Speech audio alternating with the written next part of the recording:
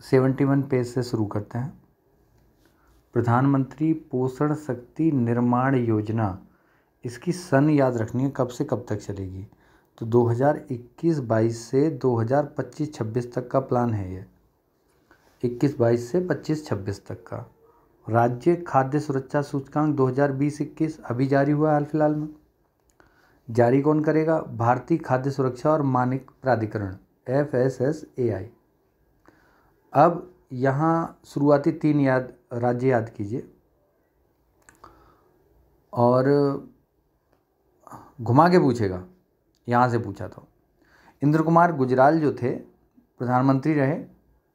गुजराल के ज़माने में सबको खाद्य सुरक्षा थी। गुजराल के ज़माने में सबको खाद्य सुरक्षा थी। गुजराल, गुजरात पहले पे, के, केरल दूसरे पे। बड़े राज्यों में शीर्ष स्थान पे गुजरात, दूसरे नंबर पे केरल। संघ राज्यों में पहले पे कौन है? जम्मू कश्मीर। छोटे राज्यों में गोवा पहले स्थान पे और उत्तर प्रदेश का पांचवा स्थान है बड़े राज्यों में। एक बार फिर समझते हैं। गुजराल जब प्रधानमंत्री थे, तभी का सोच लेते हैं? गुजराल के ज़माने में सबको खाद्य सुरक्षा थी। खाद्य सुरक्षा का मतलब खाद्य सुरक्षा सूचकांक। जमाने का मतलब जम्मू कश्मीर, संघ राज्यों में पहले पे कौन? जम्मू कश्मीर, गुजराल। गुजराल, गुजरात पहले पे बड़े राज्यों में केरल, दूसरे पे बड़े राज्यों में पहला, दूसरा, उत्तर प्रदेश का भी याद कर लो तो पाँचवा स्थान। छोटे राज्यों में गोवा सीट्स पर है। रेल कौशल विकास योजना के लिए जो नोडल एजेंसी बनी है ना, क्योंकि यूपी का एग्ज़ाम दे रहे हैं तो बनारस लोकोमोटिव वर्क्स बनाया गया है। N I R F India rankings, national institute ranking framework. अब कानपुर वाले मौसा जी ने इंस्टीट्यूट खोला है। कानपुर वाले मौसा जी ने इंस्टीट्यूट खोला है। तो इंस्टीट्यूट का मतलब इंस्टीट्यूट रैंकिंग की बात हो रही है। समस्या ये है कि ये रैंकिंग कई आती है। कौन सी पूछेगा ये पता नहीं है। इसीलिए आपको क्या करना है कि कानपुर वाले मौसा जी ने, हमारे कानपुर में मौसा जी रहते हैं, उन्होंने क्या खोला है? इंस्टीट्यूट खोला है। तो इंस्टीट्यूट का मतलब इंस्टीट्यूट रैंकिंग की बात हो रही है।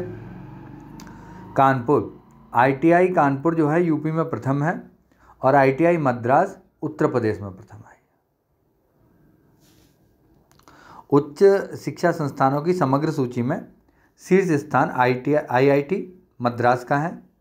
मैं आई टी आई बोल गया हूँ तो कोई बात नहीं है आई आई टी समझ लेना आप उसे। उच्च शिक्षा संस्थानों की समग्र सूची में शीर्ष स्थान आई आई टी मद्रास का है। उच्च शिक्षा संस्थानों की समग्र सूची में उत्तर प्रदेश में आई आई टी कानपुर पहले स्थान पर है। कानपुर वाले मौसा जी ने इंस्टीट्यूट खोला।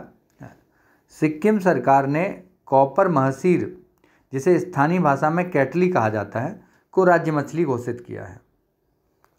प्रधानमंत्री उज्ज्वला योजना टू पॉइंट ज़ीरो, क्योंकि उत्तर प्रदेश से हुआ है शुभारंभ तो बहुत इंपॉर्टेंट है। महोबा ज़िले में आभासी रूप से हुआ है।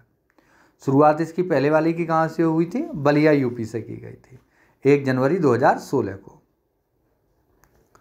इससे आगे चलते हैं शून्य अभियान। ये बहुत वेरी इंपॉर्टेंट है, यहाँ वेरी इंपॉर्टेंट लिख लीजिए। नीति आयोग ने शुरुआत की यह उपभोक्ता एवं उद्योग के साथ मिलकर शून्य प्रदूषण आपूर्ति वाहनों को बढ़ावा देने की पहल है। वेरी इंपॉर्टेंट है ये, शून्य अभियान। सिंधु केंद्रीय विश्वविद्यालय कहाँ खोला गया है? लद्दाख में। देखिए, प्रोजेक्ट हिमांग को हम पहले भी समझ चुके हैं। अब जो इम्पोर्टेंट है कि इसको माउंटेन द माउंटेन टेमर्स भी कहते हैं। बॉर्डर रोड ऑर्गेनाइजेशन इस पर काम कर रही है। इसके अंतर्गत सड़कें बनाई जा रही हैं। बी ने लद्दाख में उमिंगला दर्रा पर विश्व की सबसे ऊँची मीट मोटर योग्य सड़क का निर्माण किया है हिमांक प्रोजेक्ट के तहत। तिहत्तरवें पेज को अगली वीडियो में देखें हेलो पासवर्ड चोर ले गए सिंगापुर वाले। आगे देखेंगे। Have a nice day. Bye.